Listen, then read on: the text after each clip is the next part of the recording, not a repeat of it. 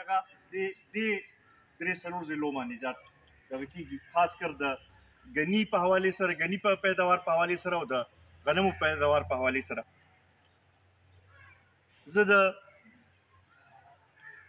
چیف سیکرټري خبر پښتونخوا ډېر زیات مشکور یم چې هغه زما خط چې ورته ورسېد داغه داغه خبرې په هغه اهمیت باندې پوه شو او دې سره سره سیکټری اډیګیشن هم چې دی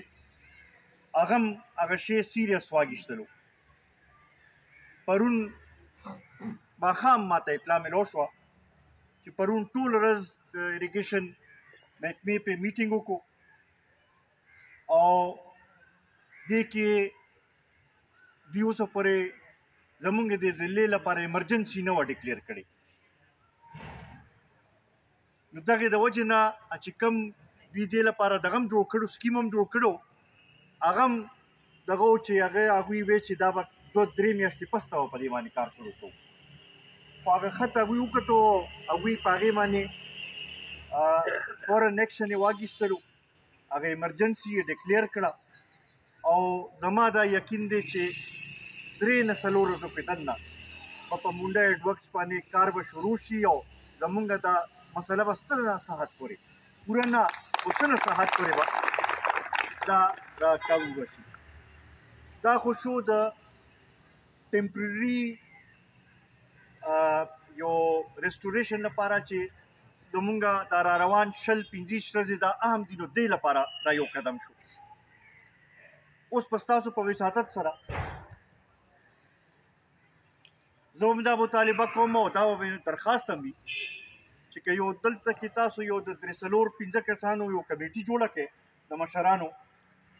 چې هغوی له زه مختلف افسرانو صاحبانو نه ټایم واخلم چې هغوی له ورشي نو یو خو چې د دې مونډا هډ ورکس چې کم مکمل جوړېدل دي مکمل په حال کېدل دي چې د هغې سکیم باندې تیزي راشي ځکه چې تیر ځل هم که ستاسو یاد وي دوه زره دوه زره لسم کې چې دا کله خراب شو نو تقریبا درې نیم څلور کاله یې اخیستي وو چې دا واپس جوړ شو مونږ به دا غواړو چې دې ځله دا دې نه لږ زر طریقې سره او درخنځه کسان ستاسو کمیټي جوړ شي دغه شان ته وزه د تنګي سایډ نه هم یو کمیټي جوړ کړم نو تاسو له وزه د سیکټری اریګیشن نه هم ټایم واخلو نور د اریګیشن افسرانو نه به ټایم واخلو چې هغوی له تاسو ورشي او تاسو ورته خپل دغه کې بیان کړئ د هغې به اثر لږ زیات وي خبره زه هم کولی شم خو چې ستاسو دغه وي نو د هغې به یو اثر به زیات وي زه به هم ورته وایم او سره تاسو هم چې ورسره خبرې وکړئ نو بهتر انداز سره به دغه لپاره هغه کولی شي ان شاء الله دا کم چې هدایت خان وی چې په ولې کې د شاول دغه ضرورت دی دغه لپاره هم زه کوشش کوم کاغه سرکاري ذرایع نه کیږي او کاغه د خپل ذاتی دغه نه سره کیږي هر یو کس دغه به کوم ته کې به کوشش وکړو ان شاء الله پاغي کې به کوشش وکړو خو دې کې به تاسو د مرستې راته ضرورت ځکه دا زموږ ټولو مسله ده تاسو ته چې نن دلته کې تکلیف مونږ راکړی دی او ما دا غوښتل چې زه راشم تاسو په خپل خبرې وکړم د دې لپاره چې دا ستاسو نه بغیر به دا مسله نه حل کیږي چې ستاسو مرسته پکې را سره وي او دا आवाज مونږه اوچتو نو دا غي کې به اثر وي او دې لپاره پکار چې مونږه مشترکه کوشش مو کو مشترکه جدوجہد مو کو نو دې سلسله کې چې دغه کمیټي کومه جوړ شي که بیا ضرورت راغی که دې له احتجاج کولو ضرورت دي چې دا خبره موږ خپل یو ځای ته ورسو هغه دغه خبره ده چې را ورکس په حواله سره دوی خبره وکړه ځکه چې دغه بونډه هډ ورکس نه لوور سواد کانال دوابا کانال شولګره کانال دا دا ټول ته سیراب کیږي او دا چې دا تقریبا یو لک او نه اتیا زره ایکړ ځمکه چې ده دا دینه او ته اوبه ورسي څنګه چې تاسو پته را چې دا کم تیر سیلاب چې راغی هغه کې دا د الله تعالی ډیر لوی رحم دی چې هغه شانتي نقصان ونه شو چې څنګه 2010 کې شو په 2010 کې هم زمونږ د اپاشه نظام هم خراب شو او سره زمونږ کورونه او زمونږ کلی زمونږ ډیر فصلونه ډیر زیاتې دغه خراب کړو